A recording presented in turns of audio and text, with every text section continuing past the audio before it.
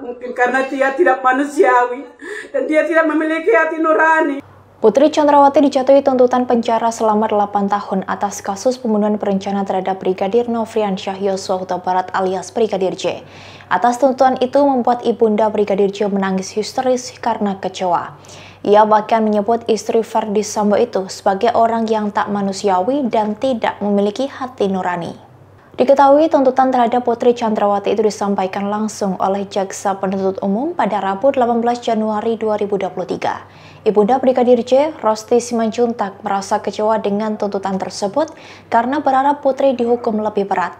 Sebab Rosti menganggap Putri Chandrawati ikut serta dalam rencana suaminya Ferdi Sambo untuk membunuh putranya Brigadir J.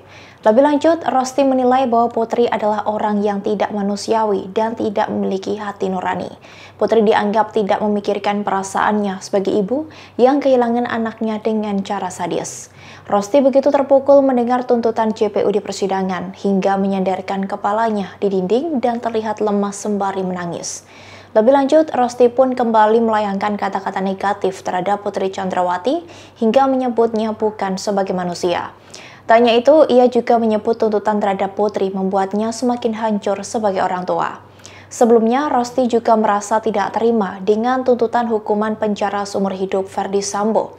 Rosti tetap berharap ex-kadif Propam Polri tersebut dapat dihukum mati. Ia mengatakan perbuatan Ferdi Sambo yang melakukan pembunuhan berencana kepada Brigadir J sudah sangat pantas mendapat ganjaran hukuman mati sangat-sangat disayangkan. Ini semua di luar dugaan kami. Kalau segini, berarti perempuan sudah bisa membuat fitnahan dan tuduhan kepada siapa pun pelaku. Secara tidak langsung, kami perempuan bisa membuat kesaksian-kesaksian dusta seperti Putri Chandrawati. Di mana nanti ada perempuan yang merasa ada ancaman, boleh mereka berkata-kata fitnahan apa pun di dalam adanya persidangan ini. Harusnya mati kan? Hukuman yang semaksimal mungkin buat si putri. Harapan kami hukuman yang semaksimal mungkin karena dia tidak manusiawi dan dia tidak memiliki hati nurani yang memiliki anak. Dia hanya dia sendiri yang punya perasaan tanpa memikirkan perasaan saya sebagai punya almarhum Yesua yang begitu mereka rampas nyawanya secara sadis dan biadab. Melengganglah si putri dengan tuntutan 8 tahun itu.